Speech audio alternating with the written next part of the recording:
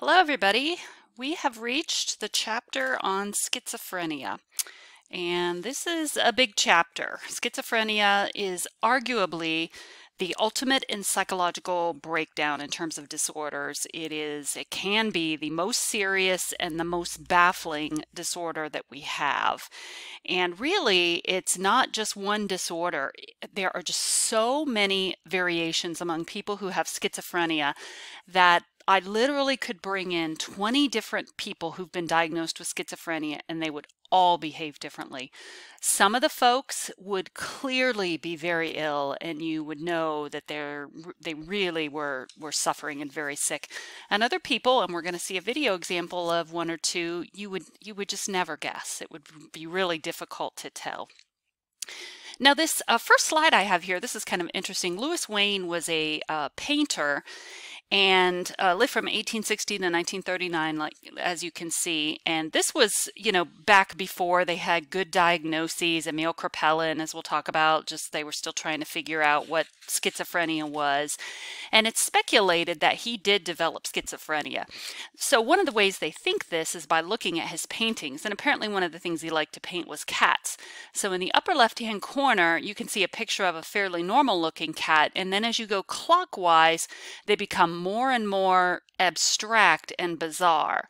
And that when those were painted in his later years. So the speculation was really as he descended into more psychotic behaviors, his his portraits kind of reflected that. So really interesting. This is a long chapter. There's a lot of information I want to share.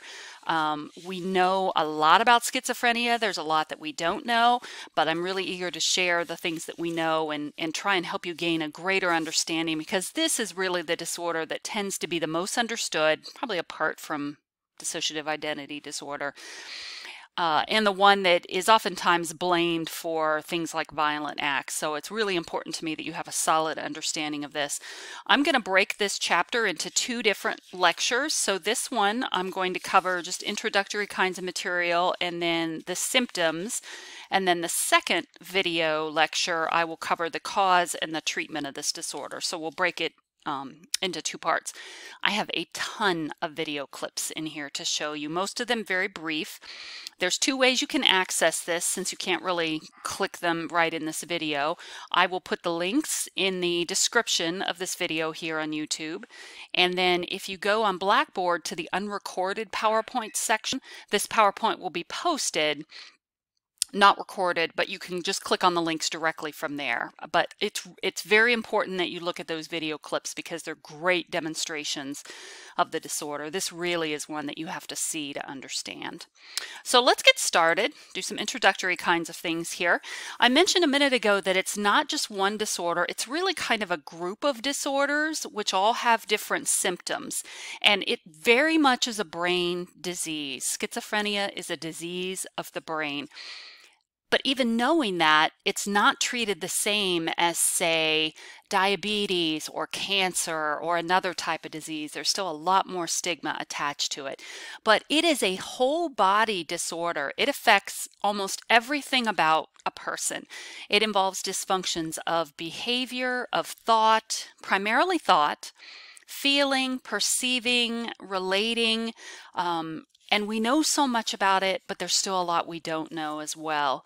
This first video clip I'm going to ask you to look at is of a patient named Jerry. It is an old clip from the early 80s, but uh, I've used it for years. I've I have searched and searched for other clips that might be a little bit better or different, but I still keep coming back to this one. So I'd like you to take a look at that. The scene opens with uh, he's living in a psychiatric facility, and they are interviewing him to try and understand his symptoms a little better. And then there's some interviews with his mom and his family, and it's absolutely fascinating. His name is Jerry. So I will refer to him a few times as we talk about these uh, symptoms because it's just a, a really good example of it. Now, as far as how long schizophrenia has been around, I mentioned uh, Emil Kraepelin a few minutes ago, but Emil Kraepelin, who we talked about in the diagnosis chapter, first identified the symptoms of schizophrenia in the late 1800s, and he discovered that this is something that affects people early in life, in their late teens and early 20s, and then he put it together with other symptoms to try and understand it, but he called it dementia praecox. Schizophrenia is not dementia. It's not a disintegration of the brain or a deterioration of the brain, but it absolutely affects the brain. So he was very much correct about that. Um, and what they called this was mental deterioration. That was really just the language of the time, although we do not see deterioration of the brain. Schizophrenia was coined in the early 1900s, not too much longer, by Eugen Bleuler, who was a psychiatrist, and he termed, actually coined the term schizophrenia and he called he meant schizophrenia to mean split mind. I think this is part of how we get our misunderstanding of multiple personality and schizophrenia. People with schizophrenia do not have multiple personalities. They don't have more than one personality. They don't have split personality uh, the split mind can refer to a split between reality and what the person believes. It can be a split between perception and sensation. It can be a split between feelings and cognitions. All that is correct, but it doesn't mean different personalities. So that's something to think about.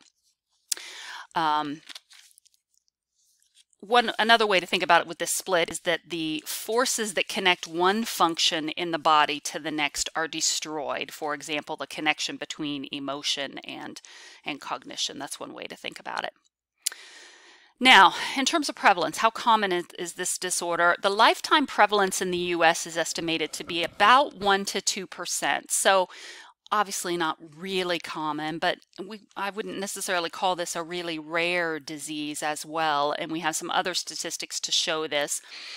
In the United States, about 40% of admissions to psychiatric hospitals are for schizophrenia. So that just that just gives you some context. Between two to four million um, per year.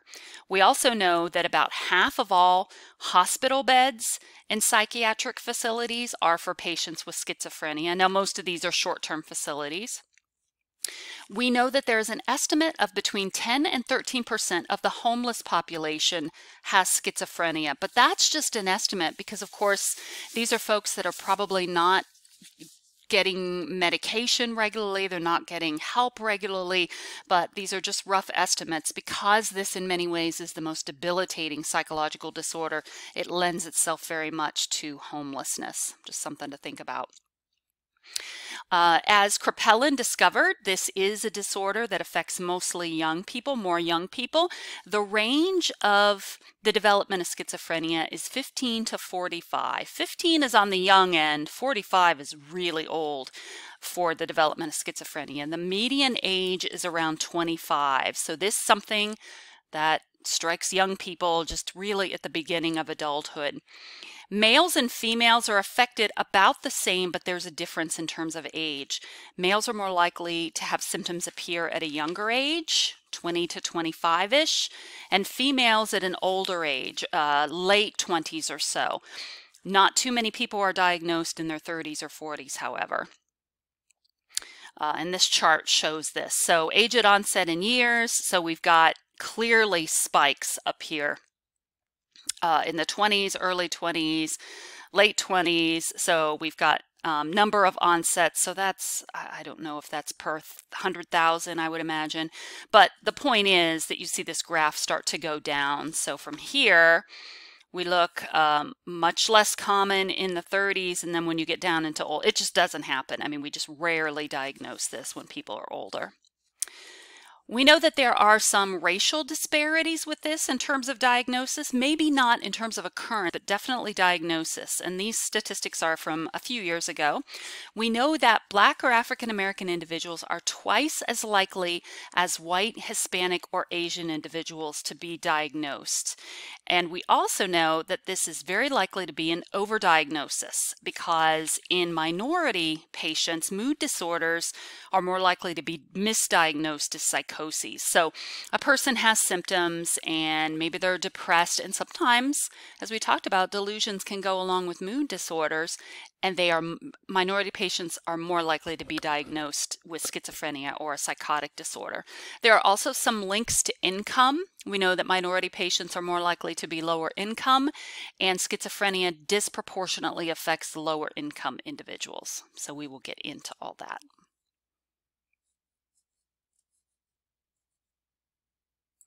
Okay, let's go ahead and talk about the symptoms of this disorder. There are a lot of them. I'm not even going to talk about all of them, but I am going to talk about quite a few of them. The thing that I want you to keep in mind, though, is that no one symptom has to be present to diagnose schizophrenia. Once I get through the symptoms, I'm going to tell you briefly what the DSM criteria are and what that requires, but no one of these symptoms has to be present, and that's important. Okay, so what I've done is to take all the symptoms and put them into categories. That's really the easiest way to do this. So we'll start off with the category of thought and language symptoms. I mentioned that schizophrenia is primarily a thought disorder, so disorganized thinking is the hallmark of schizophrenia. Well, the only way we know what a person's thinking is by how they talk. So most of the time you see the thought symptoms come out in how people talk. So let's look at some examples of how we see this. First of all, through their use of incoherent language. Now, you've probably heard the word incoherent before. Incoherent means you can't understand the person. They're very hard to understand. Now, oftentimes we can't understand the person, but they can understand. So these next couple symptoms I want to give you are examples of how we would see incoherent language. Uh, first of all, loose association. Sometimes we call this derailment.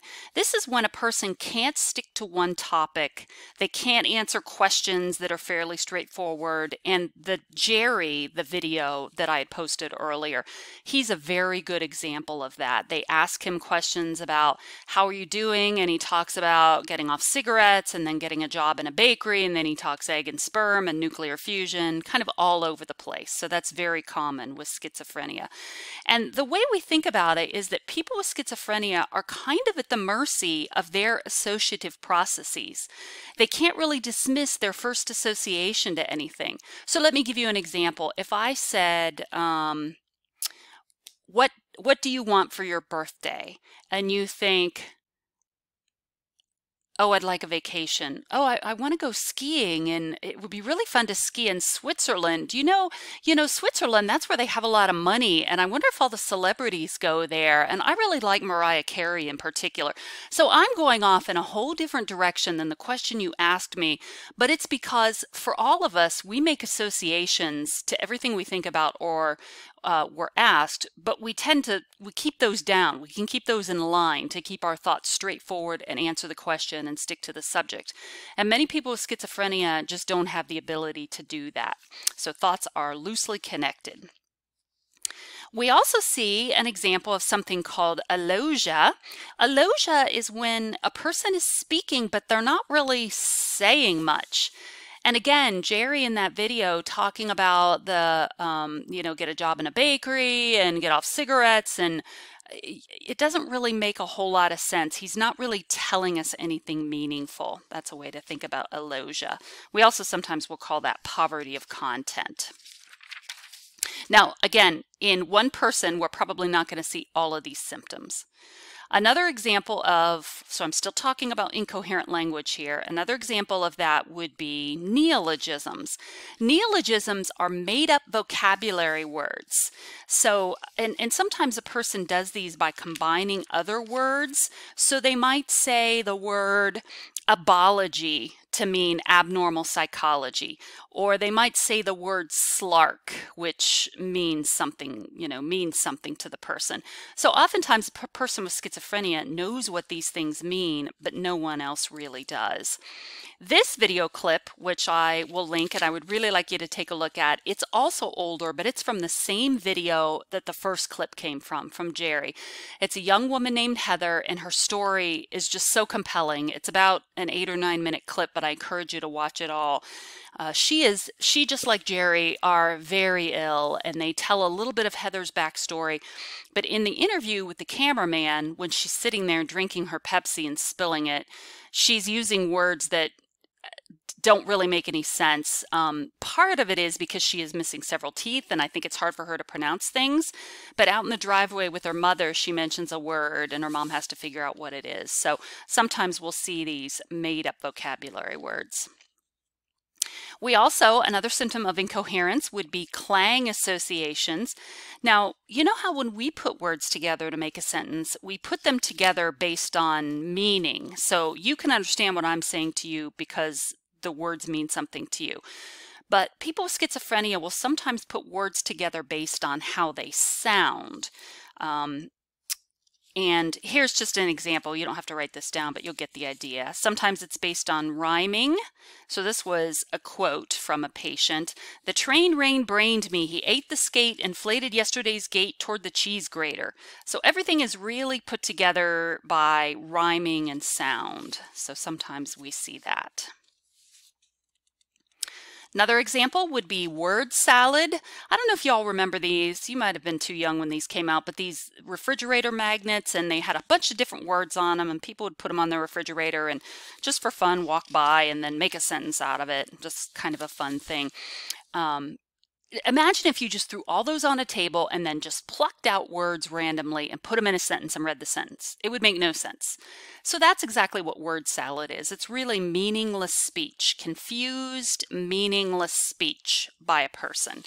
And really, this one, the train brained me, that's another example. In addition of clang associations, that's also word salad. Let me read you another example from a patient of word salad. I went home yesterday and the day before and the day before, and I yelled four on the golf course. The salad was excellent and had nuts and grapes. The underwear man on TV is a grape, and they made me sick as a kid. So, words just put together, no real meaning behind it. Okay, and the final example of incoherent speech here would be echolalia.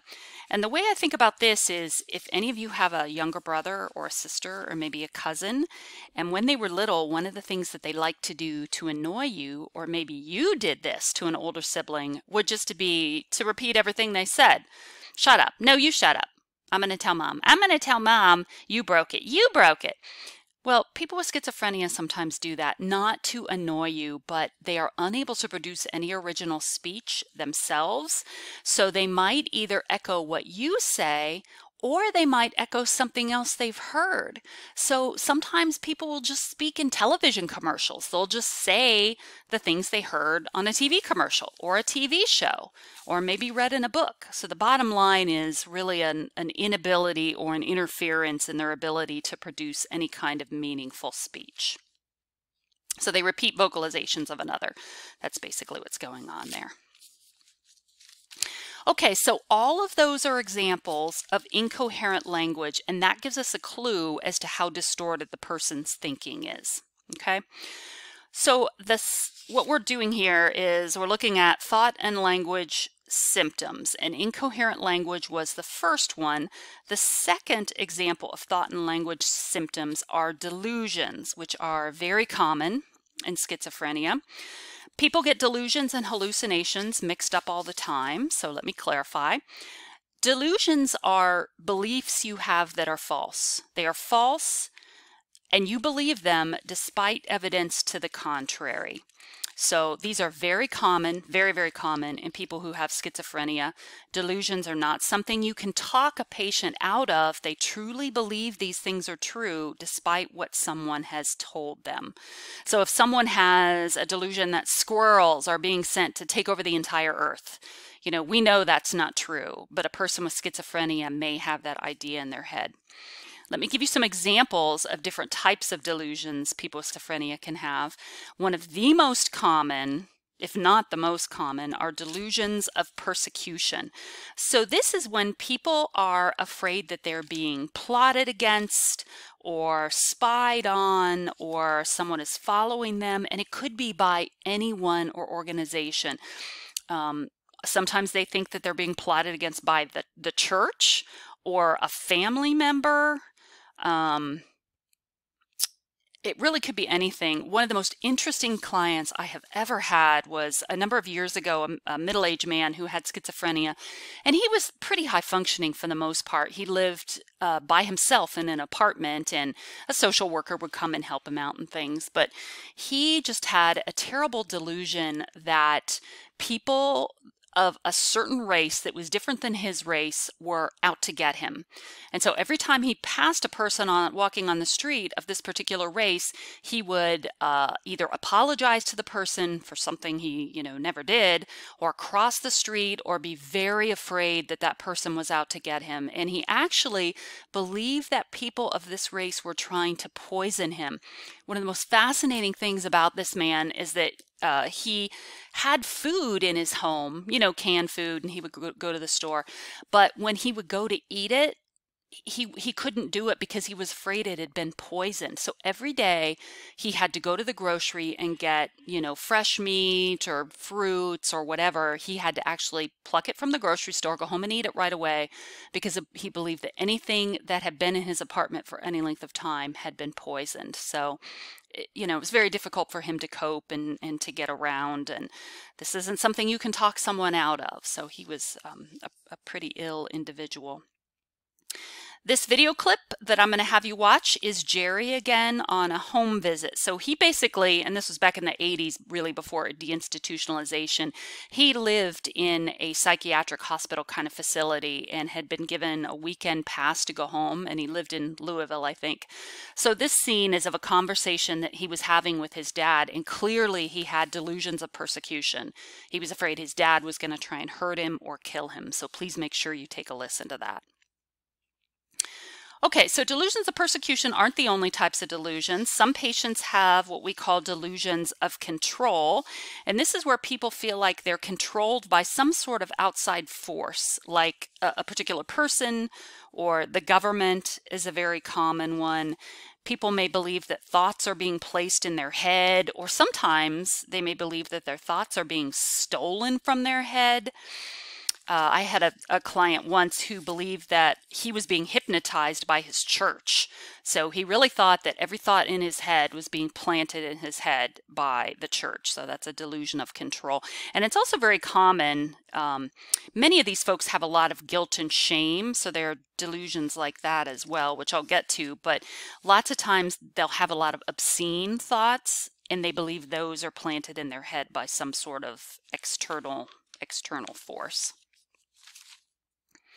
Okay, we have delusions of reference. This is a really interesting one. Um, these are where people believe that an external event refers specifically to them. So you see this picture here, this Nike slogan, this old Nike slogan. Yesterday you said tomorrow.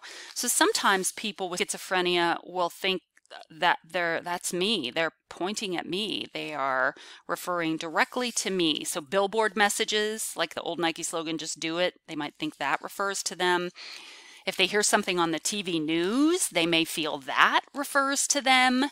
So people can sometimes get very scared and a little bit paranoid as well because feeling like all these things are um, intended for them. One of the most interesting demonstrations of delusion of reference I've ever seen was not a client of my own. It was a video interview that I saw in training. And it was a woman who was um, a substitute school teacher, so she didn't have to work full time. And she came in talking about this relationship she had with a local radio disc jockey. And she talked about how special this relationship was. And then when the interviewer started asking more questions, it turned out they'd never met because it was a secret relationship. She said it got started one night because she was listening to the radio and he was doing his nightly show. And he said over the radio, This one's for you. And she said, and then he played a song, and she said that was the start of it. She said that was the signal. And then every night after that, he would say that about the same time this one's for you. And so she developed these feelings for him and she swore up and down it was mutual. She said that she started writing letters to him and she would send them to the station. She didn't understand why he, well, she did, but um, the interviewer said, Well, did he ever contact you or write back? And she said, Oh, no, no, he couldn't do that because he was married and we had to keep this a secret. And apparently, she would show up at local uh, kind of malls and things where he would appear. And one time, she didn't identify herself to him, but he handed her a picture and said, This is for you. And so she took that as a cue. So she just essentially went on and on about this secret relationship and, you know, it was never reciprocated. So a, a sad example, but just absolutely fascinating one delusion of reference. Okay, now I'm not going to go through all the different delusions, but I do want to talk about two more delusions of sin and guilt. I already mentioned uh, the man I, the client I mentioned, who fears that people are poisoning him. He also had a delusion of sin and guilt. There were there were um, there were ideas in his head that he had assaulted a number of different women. And when he first told me that, I was like, okay, I wonder if this is true. So I did some research and such, and there was that never happened. There was never any evidence that that happened. No one had ever made claims. Um, and you might think, well, maybe he did that and now he's feeling guilty about it. And maybe, but there was absolutely no evidence. Um, so that appeared to be just a product of his schizophrenia. So sometimes people will think that they've harmed others. And then the last delusion we'll talk about is the one that most people have heard of, and that is delusions of grandeur. This is when people with this disease think that they are someone in particular famous, or someone with a special skill, or someone important. So they might think that they are world renowned doctors or actors. Um, oftentimes, great historical figures are common. So people have claimed that they are Jesus Christ or Napoleon or Joan of Arc, but as I talked about in the depression chapter, these can be dangerous because, take for instance, this guy, and this was like a, you know, I'm not saying he had schizophrenia, this was just a random picture on the internet, but say he really thought he was Superman and tried to jump off of a building. So there have been numerous cases of people who've harmed themselves through that.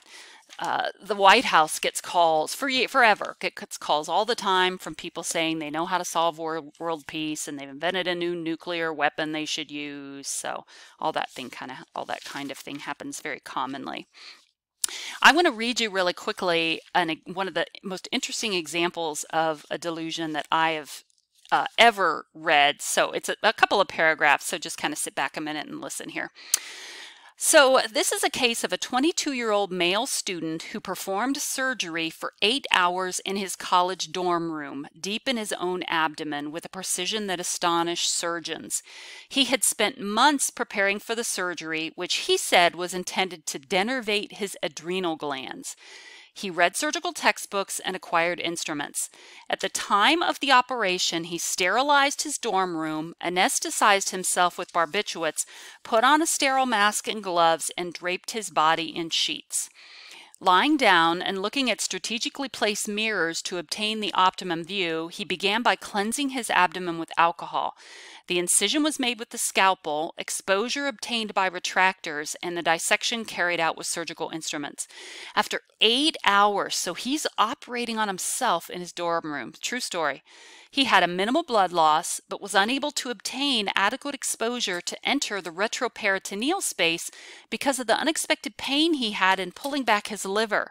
Exhausted, he bandaged his wound, cleaned up his room, and called the police for transport to the hospital because of a rupture. So the guy had a delusion that he could perform surgery, and he tried to do that. I read about this case a long, long time ago and just was really amazed by it. But then when I honestly, when I was in graduate school finishing up and working in a psychiatric hospital, we had a case, and this was back in the, oh, when was this, or mid 90s, early 90s, made national news of a guy who was an occupational therapist at a local hospital. This was in Florida. And he, um, come to come to find out after interviews with him he was having trouble in his sexual relationships with women. And so he made the decision on his own that if he no longer had testosterone he would no longer have a sex drive and then wouldn't have these problems anymore. So he decided to castrate himself So this man who worked at a hospital, he managed to scurry off with instruments and obtain, you know, um, drug painkillers and all that sort of thing. And one day in his house, he attempted to remove his own testicles, and he successfully. I know everybody's crossing theirs right now, right? Even if you're a female, you're doing that. Ugh. So he managed to successfully remove one of his testicles, but couldn't get the bleeding stopped. So he had to call the squad. So the squad took him to the hospital. They bandaged him up. And then they brought him over to where I was working to the psychiatric hospital after he had healed some. So it just and and I uh, I didn't get to work with him much, just in a couple of therapy groups, and it was just absolutely fascinating. Um, and I don't know that he was diagnosed with schizophrenia, but he definitely had that delusion of grandeur. So just incredible. Okay, so let's answer the question why do people have these delusions? Why do people with schizophrenia have these delusions? We know that it actually might be a coping mechanism for some people because a person with schizophrenia has so much internally going on. They have so many things uh, uh, thoughts that are frightening, emotions that are frightening, that they don't understand. And this may just be a way to adapt to the changes taking place within themselves. That's kind of the current line of thinking. Okay, so all of that are examples of thought and language symptoms. That's all one category of symptoms for schizophrenia. The next category of symptoms are perceptual symptoms. So a person who has schizophrenia has a view of things that's different. You look at this picture here, and probably all of us see a face, right?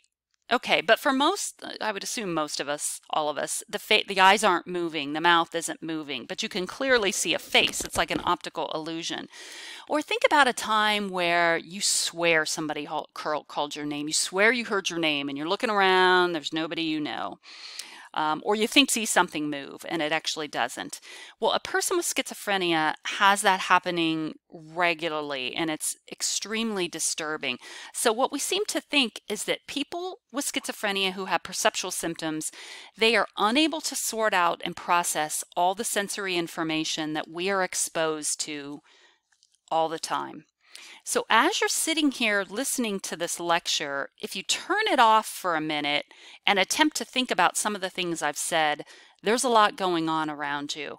Maybe you hear somebody mowing the grass outside, maybe your brother's yelling from another room, maybe the air conditioner's making a sound, uh, maybe you hear some other sound somewhere. You are being bombarded, you know, maybe your nose feels tickly. We're being bombarded by sensations all the time. Healthy people are able to screen all those out and focus on what they need to focus. But we seem to think for people with schizophrenia, they really are not able to sort all that out. So they see things that are different, hear things that are different. They may, odors may be, you know, stronger, sounds may be louder. All those are perceptual symptoms. And the main perceptual symptom that people with schizophrenia experience are hallucinations. Hallucinations are not thoughts, these are perceptual experiences. When people have a perceptual experience in the absence of a stimulus, so they can't distinguish between what's real and what's not real. So they see a face moving in a tree and they're not sure if it's real or not, or they hear a voice and they're not sure whether it's real or not. So all five senses can be affected by hallucinations. The most common are auditory hallucinations. Up to 75% of people with schizophrenia report auditory hallucinations. That sounds like a good test question, don't you think? I'm thinking 75% of people with um, schizophrenia report auditory hallucinations. So those are the most common, uh, and it's usually people hearing voices that the patient mistakes as their thoughts. So they hear voices and they think that those are their thoughts. Uh, the voices are usually not nice. They're usually arguing. They're usually yelling at the person. They may be saying obscenities. They are oftentimes criticizing the person, but they basically will comment on what the person's doing and command them, and they are often very punitive. Now, here is a link. This is a YouTube video, but it's actually only auditory. And if you want to, give a listen to this. I think it's really interesting. It is a staged example of what that's like for a person with schizophrenia. Because for you and I, you know, you we have thoughts all the time. You know, I'm I'm thinking I need to get up and get a drink, or you might have a song in your head that you're repeating over and over again. But those things aren't bothersome to us because we understand that that's our own thoughts. But people with schizophrenia, they don't understand that. It actually does sound like a voice. So this clip mimics what it's like for a person to have auditory hallucinations. Um, it's it's really interesting. So go ahead and give a quick listen to that if you will. Any of the other symptoms or any of the senses can be affected. In this same hospital that I was working at that I just told you about, we had uh, these therapy groups, and this was in Florida. And one guy I remember had hallucinations of little alligators on the floor, and they were tactile hallucinations also. So he would be sitting there in group, and he would see all the little alligators running toward him on the floor and then he would see them crawling up his shins and he would brush and touch his shins constantly because he could feel them nipping at them. Um, olfactory or smell hallucinations can happen also so any of the five senses but the auditory are by far the most common. Okay uh, next category these are symptoms of affect or emotion, and we see, or mood. So we see a variety of things here in this disorder. Some patients have what we call flat affect, which is where they just, they don't show any emotion. I don't know if you, any of you know who this is. This is John Hinckley Jr., who tried to assassinate Ronald Reagan. He was the guy who had the obsession with Jodie Foster and uh, was trying to impress her by doing some big criminal act like trying to shoot Ronald Reagan and uh, he went he was diagnosed with schizophrenia and he lived he was kept in St. he was found not guilty by reason of insanity and was kept at St. Elizabeth's Forensic Hospital in the DC area for a long time and he was just released I believe so he will be tailed by the Secret Service apparently his entire life I read that but uh, he has been declared in remission and um, highly unlikely to harm anybody else but um, this was what he looked like all the time. He absolutely had that flat affect. And then sometimes we'll see patients with what we call blunted affect, which is where they show very little emotion whatsoever. And some patients have inappropriate affect. So they'll give a response that's not suited to the situation. They may laugh when they hear about a tragic fire, or they might get angry if you ask them, Hey, how are you today? Or they might get angry if you give them a present or so. Um, so we know that this emotion is also this inappropriate emotion is can be an early warning sign of schizophrenia. There have been studies, the first one was in 93 and they've done more, showing that patients with schizophrenia as adults tended to show more negative emotions and fewer positive emotions as kids. Now, this doesn't mean that if you've got a kid who's you know, is angry and tearful or sad all the time. This doesn't mean they're going to have schizophrenia. This is a retrospective study showing that people who do have schizophrenia, they have that tendency as a child. So the emotion can be an early sign. We also know that some people with schizophrenia, not all, but some, have disorders of motor behavior, and there's a wide variety that we see. Some people demonstrate hyperactivity, so they just can't sit still or they're fidgeting. Um, I'll give another example here in a moment. Some people exhibit catatonia. You've heard of the term catatonic. This is an example of catatonia over here. So catatonia refers to the somewhat rigid immobility of a person um, like this. We don't see this too often anymore because medications can really help with that, but it, it can be sometimes a sign of schizophrenia. And one of the fascinating things we very often see with catatonia is something called um, a waxy flexibility with this. Like, I don't know if y'all remember the cartoon Gumby or ever seen a Gumby doll. They're these rubbery dolls that you could just move their arms and legs in any position. So, for example, if this woman has the waxy flexibility, you could walk up and switch her arms around, and then she would hold that position for long periods of time. So, people really have an ability to hold positions for a long period of time that are just really hard to understand. And then another motor behavior that we sometimes see is called stereotypy the video with Jerry, he does a lot of hair twirling, and that's an example of stereotypy. So it's some kind of a repetitive motor behavior. That doesn't seem to really have much of a function other than it may be self-soothing for the person. That's really about all we understand about it. Okay, the last category of symptoms here um, or uh, excuse me, two more social behavior symptoms. We see social withdrawal very commonly, and schizophrenia often begins to show itself this way. So when people look back, that, you know, family and such looks back, that may be one of the very first signs that their loved one um, displayed was social withdrawal, not wanting to be with family. Sometimes people will hoard odd objects like wax paper or string. Um, this man here, you know, there may be something he's hoarding. There's a lot of bags, but who knows what's in it. So they may hoard something strange like um, plastic bags. And then people often uh, display anhedonia, which we talked about with depression. So they lose interest in activities they're normally very interested in. Okay, and then this is the last category symptoms, sort of the wastebasket category, other symptoms. Sometimes people will display something called avolition, which is when they can't get themselves motivated or pursue certain things and this would be things like self-care or personal safety so sometimes people with schizophrenia will they won't shower or they won't you know know to brush their hair or take medicine take their medicine um, they may put themselves in dangerous situations, you know, not be able to keep the house clean, things like that. So it means a lack of motivation to pursue things.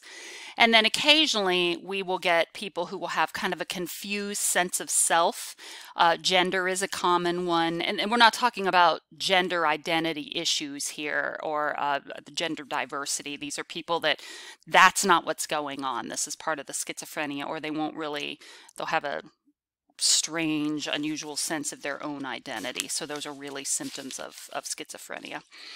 Now, of all those symptoms that I just went through, I don't have a slide showing this, and, and I'm not going to ask you this question, but you have to have at least two of the major categories for a period of six months. So you have to have delusions and hallucinations, or delusions and catatonia, or um, you know a thought symptom and hallucination. So two of the major categories you have to have for a period more often than not for a period of six months. And then there's some other some other criteria too but those are really the main ones. Okay, so the last thing I want to talk about here in this lecture about symptoms is how we categorize schizophrenia. Years ago, they used to have different types of schizophrenia, like paranoid schizophrenia and disorganized schizophrenia, and they don't think about schizophrenia that way anymore, but they do have two major categories that help for prognosis and also diagnosis. So let me explain these here. One category of symptoms looks at negative symptoms. So the way to think about negative symptoms is that these are things that people normally display, but they're not there in a person who has schizophrenia. We can think about them as behavioral deficits. These are things normally present in a person, but they're not with this disease. So for example, flat affect. Healthy, typical people show emotion. So if you don't show emotion, that would be considered a negative symptom of schizophrenia. Healthy people talk. I didn't talk about this symptom, but if you don't talk or say very little, which is sometimes referred to as poverty of speech, that would be considered a negative symptom. Another one would be catatonia. Healthy people move, they have body movements. So if you don't and you display catatonia, that would be considered a negative symptom. And this picture here is an example, uh, obviously many years ago, of a former patient that had catatonia. So think about negative symptoms as being a loss of normal functioning. And then we also have positive symptoms of schizophrenia, and these are behavioral excesses. So think about symptoms that healthy people don't have, people with schizophrenia do have, and that would be a positive symptom. So for example, hallucinations, delusions, psychomotor agitation, this is that hyperactivity that we talked about. So these are things that healthy people don't have, but when a person with schizophrenia does have this, that's considered a positive symptom. Uh, the difference between now there there's the reason that these it's important to know whether a person has mostly positive or mostly negative and lots of people have both but you look at the preponderances because it makes a difference with prognosis so in the next video I'll talk a little bit more about that but for now what I want you to know is we don't have specific categories of or types of schizophrenia, but we look at the symptoms and how we can categorize those. Uh, the difficulty of diagnosis um, Schizophrenia is difficult to diagnose because the symptoms overlap with just so many others. And just to give you an idea, there is an average delay of three years to get the correct diagnosis and treatment because they tend to rule out lots of other things first mood disorders or schizoaffective disorders, which is a kind of a, um, a whole different disorder it really is very difficult to diagnose. And especially you know if you've got a kid or a young teenager who's having these disorders it's really rare that these symptoms manifest in younger people but when they do we kind of wait them out to see how things develop as people get older and they try not to make a diagnosis immediately Okay, the last thing on here is I want to tell you about this individual and then I'll have you watch this video, but then we'll stop. This is um, uh, author named Elyn Saks. I don't know if any of you are reading her autobiography for the project you have to do, but she wrote a book a number of years ago called The Center Cannot Hold. She is a law professor, um, mostly, and she has schizophrenia. She was diagnosed with schizophrenia in college. I am attaching, I absolutely want you to watch this. It's an interview with her.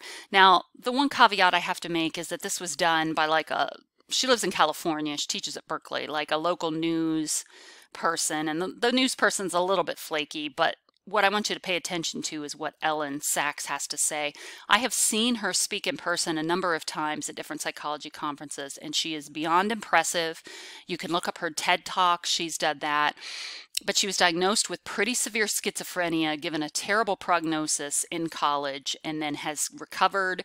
She is a distinguished law professor and also psychiatry, and uh, her her story is just incredible. So I want you to watch this. And then at the beginning of the very next video, I want to mention a couple of other things about her. So please take a look at that. Okay, so this is the end of the first video for schizophrenia, and we will come back with the second one and talk about cause and treatment.